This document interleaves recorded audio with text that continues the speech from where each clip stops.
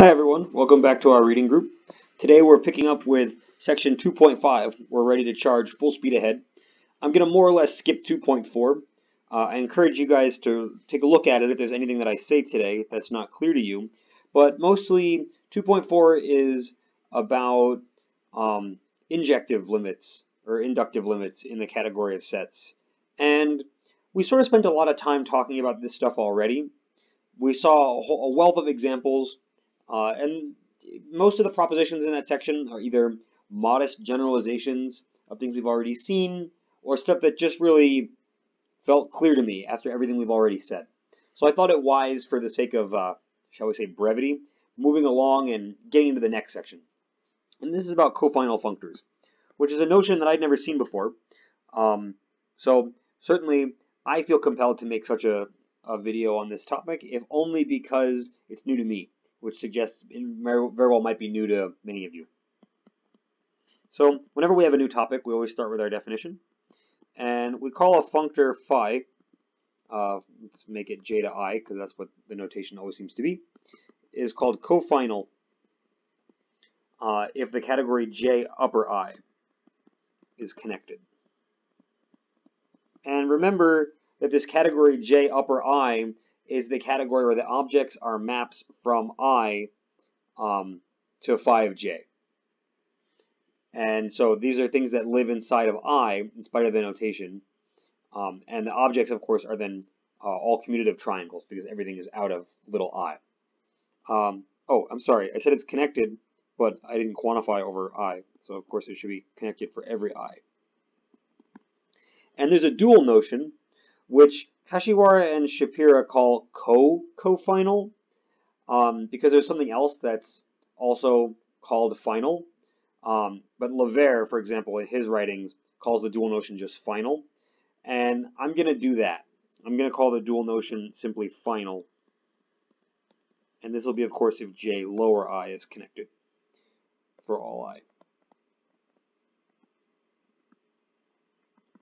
And this hopefully minor difference in notation, sorry about that, doesn't cause us any trouble. Um, if we ever run into a situation where we have both uses of final running around at the same time, then I'll just be super clear if we come to it. Now, the reason for wanting such a notion, as far as I can gather, is that cofinal functors have nice properties that give, um, shall we say, compatibilities between limits and colimits, and of course these functors. So there's a big proposition in Kashiwara and Schapira, which I'll formulate now. I'm not going to prove the whole thing, partly because Kashiwara and Schapira don't even prove the whole thing. Um, of course, it's uh, the following are equivalent. So first, Kashiwara and Schapira don't prove everything themselves. Second is a bunch of this stuff is not hard because they're just statements and the dual statements or sort of things that are clearly equivalent. And also there are six parts. So we're not going to do this. Um, but let me tell you what the six parts are, and then I'll explain the parts that are clear, and I'll explain the part that I want to elaborate on. So first, of course, phi is cofinal. Then for any i, in i, um, Hom over all the maps uh, i to j. Uh, sorry, that should be, that's not right, um, because those are in different categories. So what do I need here? Um, I regret. There's a. I regret this typo. Um, what I want is. Uh, no, I don't want maps here at all. I just want to say for every for every j. Um, oh, I see what's wrong here. That doesn't make sense. Ugh, I'm all messed up today. I'm sorry. I just gave a talk for my finals, so I'm a little fried. I want the limit over all the j's. Hom in i, there we go, i 5j is a point. And we're sticking to this notation of the asterisk for points. Next we have uh, a pair for any beta I op to set then the natural map, which takes the limit of beta to the limit of beta precomposed with phi, should be a bijection. For, uh, for any c and any functor uh, beta op to c, then there's a similar morphism now on the level of presheaves, which is limit uh, beta to limit beta compose phi op, and that's an isomorphism of presheaves. So this is just a sort of enhancement of what we just said. And now we have two more, and this is the analogous statement, but now with just I instead of IOP. And we want the forward limits.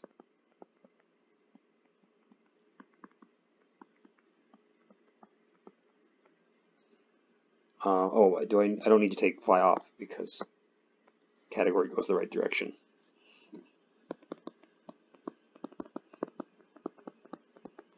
And finally, 6 is the analogous statement.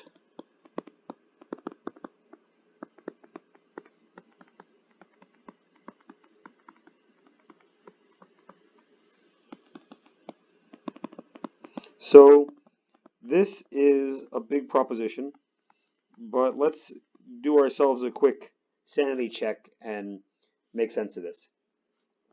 So first, these implications are clear. One of them is simply a special case of the other.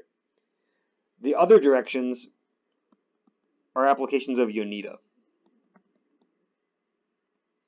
And these pairs are saying the same thing. They're simply dual statements.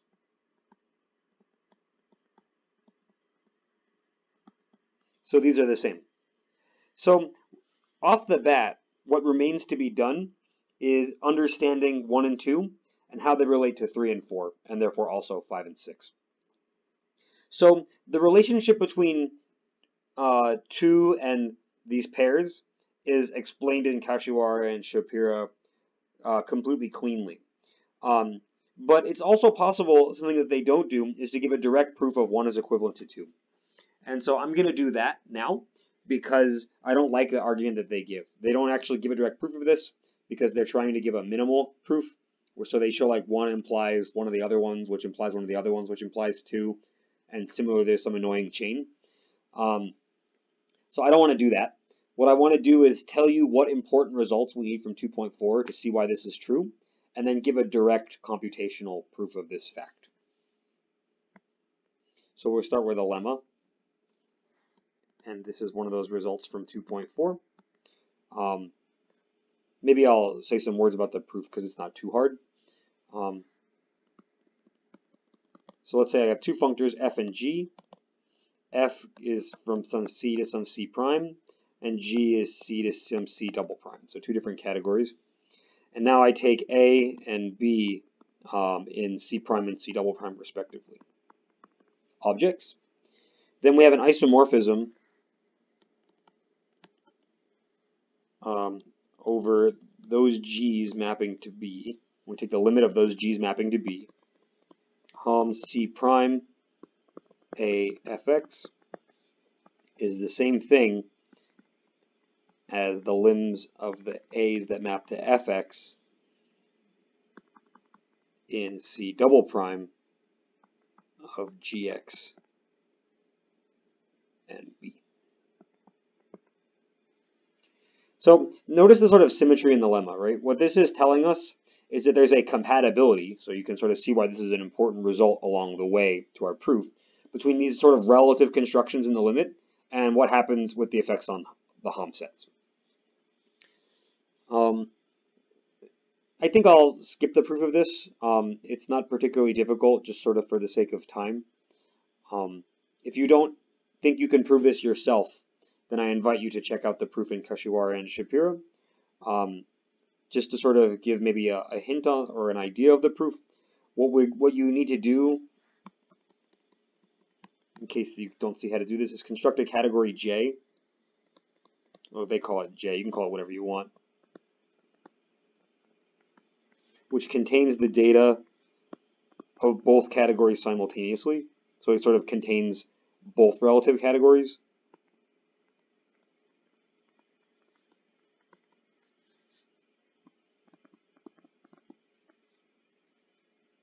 well, I guess maybe I should call them relative Homs because I'm taking the limit over these guys. I don't really know what to call it. And show um, show this category uh, is isomorphic to what you want. In particular,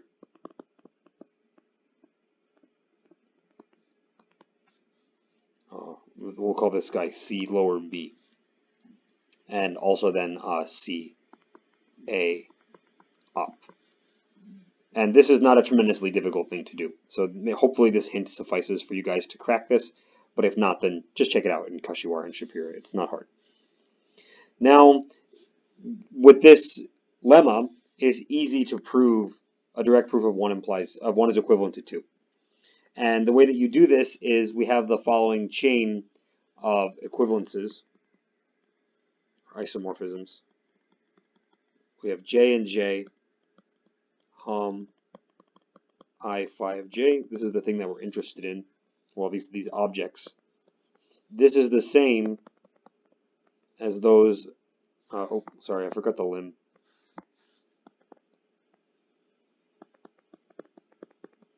J and Ji, now Hammond set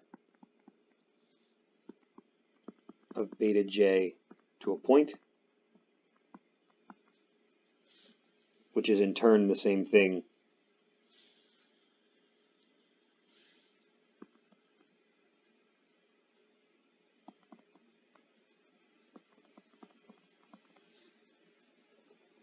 of uh, the beta J's.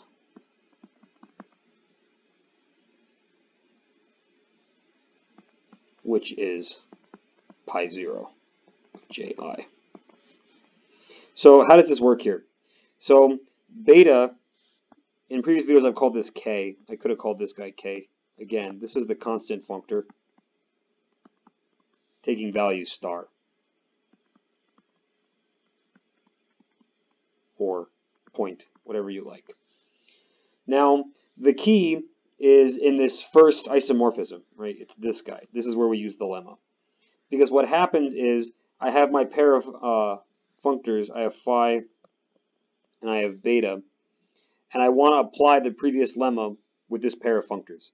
So I am getting this isomorphism between limits computed one way and limits computing this other way. Beta being set valued and phi being valued in these categories um, what this does is it moves the phi over um, to the first argument, and we're doing this in ji, so therefore we're dealing with j's, not with i's, um, and then this becomes the isomorphism that you see here. So we're sort of using this um, compatibility or transfer lemma, if you like, to get this isomorphism. Now the second isomorphism, this is just by definition what are the map, the set maps into the, the single point? Well, it's just everything, right? It's the only thing it can be. Um, so it's a collapse. Um, but on the other hand, then in Ji, if I take the limit over these guys, then what sorts of things are possible? Well, this is just telling us how many connected components there are uh, of the category.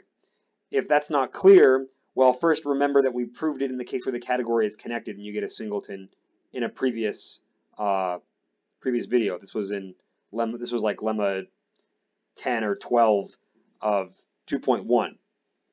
So in order to convince yourself that this is true, just think about what happens in the case where the category is disconnected. Like if I have two connected components, then my category, what which once I'm taking pi 0, I'm thinking of it as like a graph.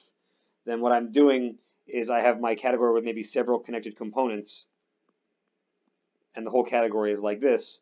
And now I'm looking at a constant functor into sets. Well, how many ways can I do that? Well, this is exactly the same sort of thing as like in calculus or topology, right? Like I can pick a different constant for each of the connected components. And so those different values give more possibilities for um, how many choices there are. And so this limit is therefore the same thing as counting the number of connected components, which as a set is just pi 0 of ji.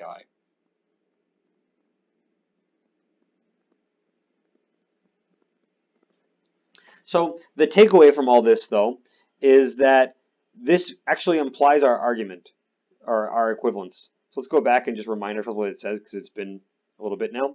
The first is that phi is cofinal, which says that um, pi zero of the category ji is connected, is, is a singleton because it's, well, it's, it's, it's connected, it's a single thing. So then this tells us that this limb is a single point. But that's the statement two. Statement two in the proposition is for any i, that particular limit is a single point. And on the other hand, of course, if I assume it, then I go the other way. And so this computation forces these things to be equivalent to each other. So, so we deduce as a corollary from this um, that cofinal functors preserve the number of connected components of a category. And that's the kind of thing that's pretty important when you're going to be dealing um, with, like, for example, localizations um, of a category. We're going to see this, I think, in the next chapter, so soon.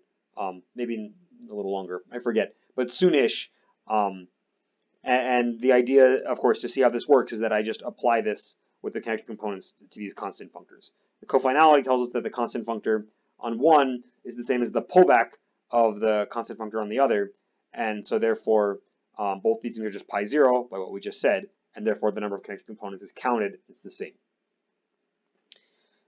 I want to show one more proposition. This is another proposition that's not very hard, sort of a corollary also of what we just said.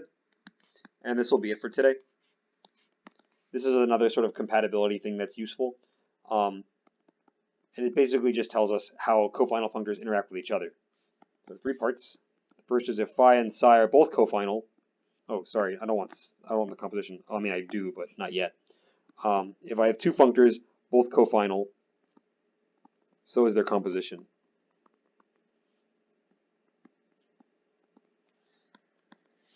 Two, um, if the composition is cofinal,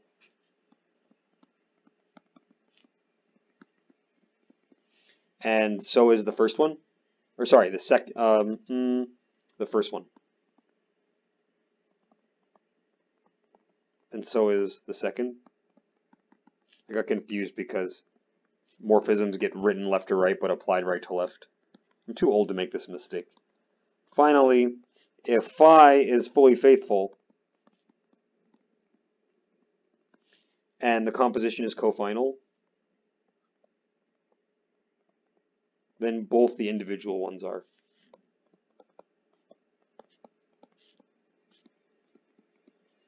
And this is a really easy proposition to prove also, sort of elegant for what we just did. The useful criterion is the bijectivity part of the above proposition.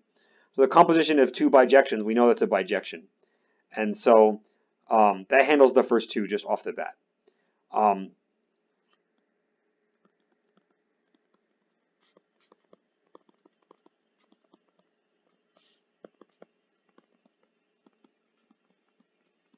and for the third, um, you have to work the tiniest bit. What you should do is note that if j, if I have some j and j, and then I have uh, psi k to j, that kj, the category, is equivalent to k phi of j. And this category is connected because we know the composition is cofinal. But the catch is that that makes psi cofinal, um, and in turn that makes phi cofinal by the previous part.